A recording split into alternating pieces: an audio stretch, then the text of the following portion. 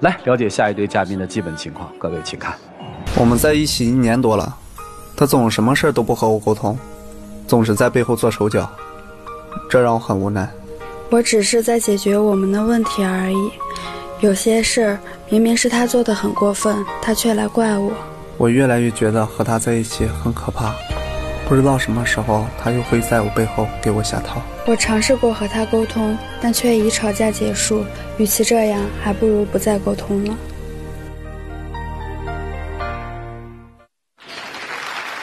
掌声有请这一对，有请。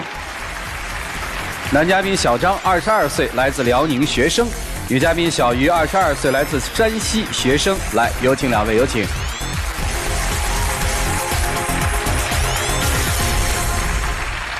欢迎两位啊！你好，大学同学，对，对，今天谁要来？今天是我要来的啊我们俩人吧，认识大概有一年多了吧。啊，然后他就跟哑巴似的，然后每次就是他就跟什么似的？他就跟哑巴似的，基本就是每哦次有事儿的时候都不跟我说，啊就是总是自己背后背后就给我做了，啊就给我下一些小绊子，让我就是特别恐慌，特别害怕。哦！你你们俩是恋人是吗？对，我怎么觉得听起来像描述敌人一样？他是一个无声的刺客，老给我下套。对，有有有这么严重吗？嗯，有过这么一回事儿吧？就是哦有过这么一回事儿大学啊大学的时候，我参加过社团嘛，啊就是篮球社的社团。哦然后他就是背后的时候，就是经常跟我四周朋友说我说我就是得了心脏病，就是给我说一些谣言。你说他心脏病啊？对，为什么呀？就是那会儿他脚受伤了，然后就不是脚，受伤跟心脏有什么关系啊？就我就想夸大一下事实，不想啊让他继续再打篮球。哦我是心疼他，然后就不想让他继续再打下去。对呀，为什么呢？就因为他当时不是脚扭伤了，啊特别严重，这脚扭伤就告诉大家脚扭了，不就完了吗？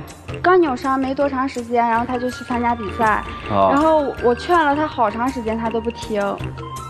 所以你就跟别人说他得了心脏病，对，我就觉得他不在意我的感受。那你也不能说他得了心脏病啊。啊，他话是挺少的，啊，你你是怎么知道的呀？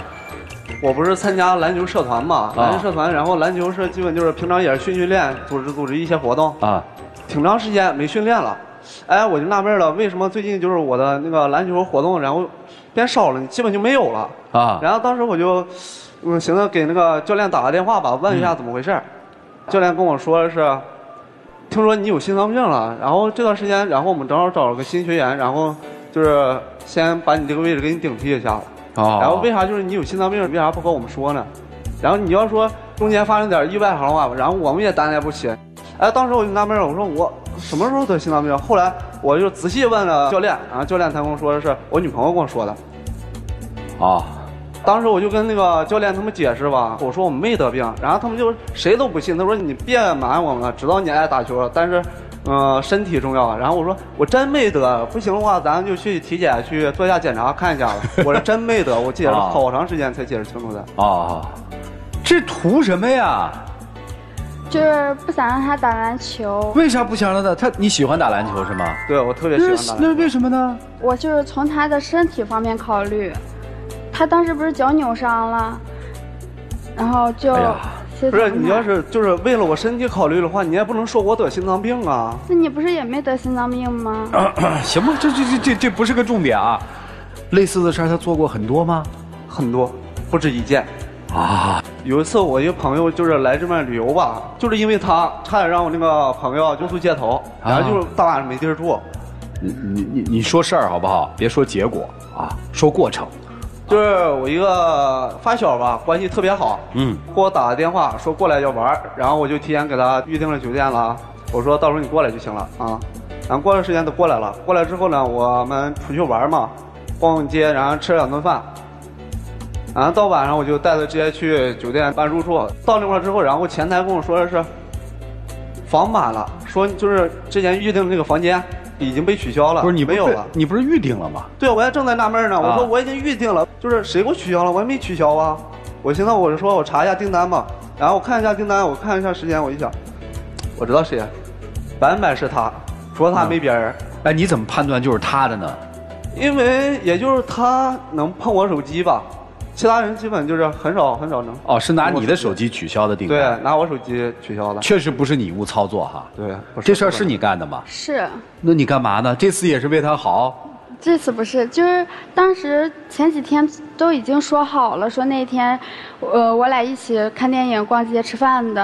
啊结果他没有陪我，他去陪了他发小，然后我就特别生气，然后一气之下就给他那个订单取消了，不是你这是算恶意吗？是这意思不？有点吧，就一气之下。不是你要这样一气之下的话，你想想，一个小姑娘从大老远过来，过来，然后之后呢，大晚上的，不，等等等等等等等等等等等等等等。哎，现在我知道一气之下的那个，我陷入到我觉得发小就是同，是一小姑娘啊。对啊，从小玩到大嘛，青梅竹马然后就是那你你你不是，你确定是青梅竹马哈？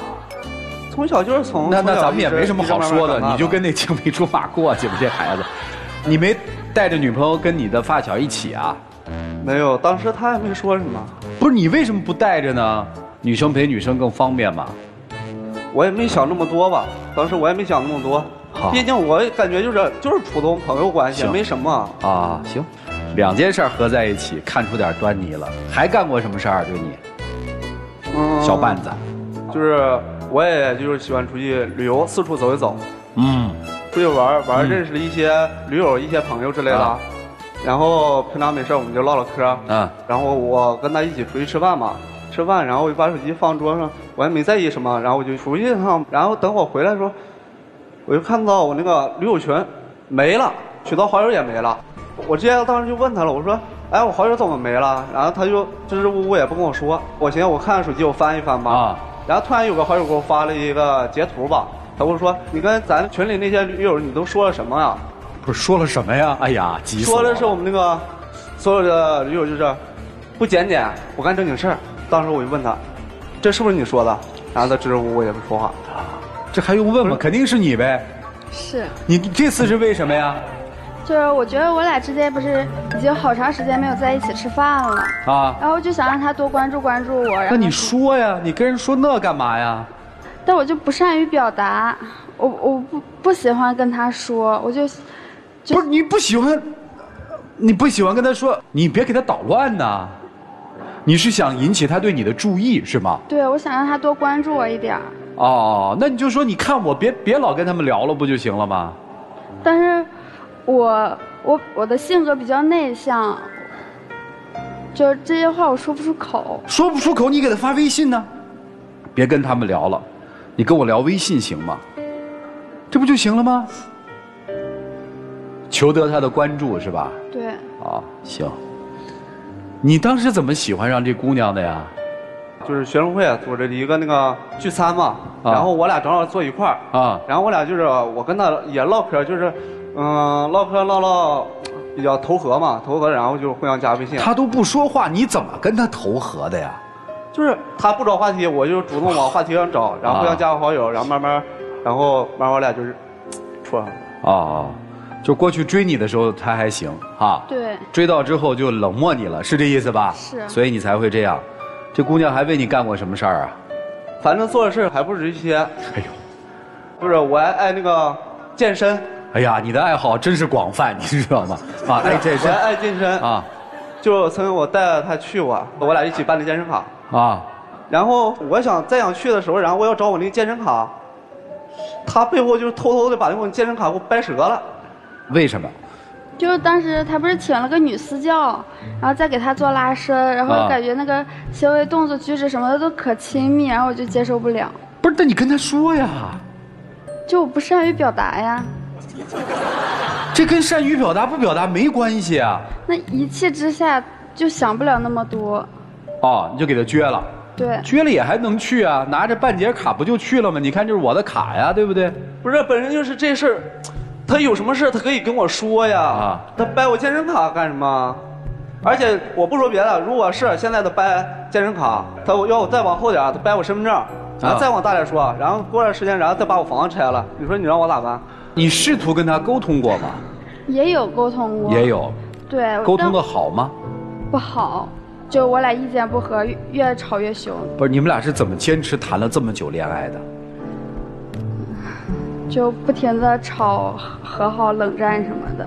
哦，我现在我就不理解的是，如果他就是遇到一些事儿，他可以跟我商量，跟我去说。我也不知道为什么，就是他现在就是不愿意跟我你觉得直接是他不想面对这些问题？你，看，你承认他是一个不善于沟通的人是吧？对，你有想过为什么他阻止你去打篮球吗？没有，没有时间陪他。你有没有想过为什么他把你订的房退了吗？因为你跟其他的女生在逛街。你有没有想过为什么他撅你的健身卡吗？因为他吃醋了。我说的对吗？对，哎呀，那你们俩到底是怎么好的？我也比较好奇，你们俩平常谈恋爱都怎么个谈法呢？你这么惜字如金的一个人，就是当时刚好的时候，他就对我特别好，然后能经常就是就是在微信上聊天什么的。我说你去忙吧，他就说没什么事儿。哦，你们俩聊都是在微信上聊啊？对，基本上当时都是那见面能有什么？见面就是看电影什么的，啊，见面就不聊了是吧？也聊，但聊的少。啊，听明白了，听明白了，你你是受不了了对吧？对我现在主要是看一下，就是这个情况能不能改变，遇到事儿能不能两人能不能就是坐下来就是好好一起商议这些事儿怎么解决，而不是就是自己去背后去做一些小动作。就是你今天来这儿的目的是让老师们帮你们看看有没有改善的方式是吧？。对，我就想来这儿就是听一下老师这个给我的一些建议吧。你呢？就是想好好的沟通一下，以后该怎么办。你们都是想问问这段感情应该怎么办的是吧？对那你还喜欢他吗？啊喜欢啊，喜欢哈，就是你你喜欢他什么呢？一个老给你下绊子的人。怎么说呢？一种感觉吧。哦，感觉对。你你还喜欢他吗？喜欢，哦，对，你要不喜欢也不能老给他下绊子是吧？那你回头想那些事儿，你觉得做的对吗？我也有想过做的不对，但是当时真的就是一气之下也想不了那么多。就是你也找不到其他的方式。对我只是就是想找点想找点那种存在感，让他多关注关注我。哎呀，这才一年是吧？对。哦，就要存在感了。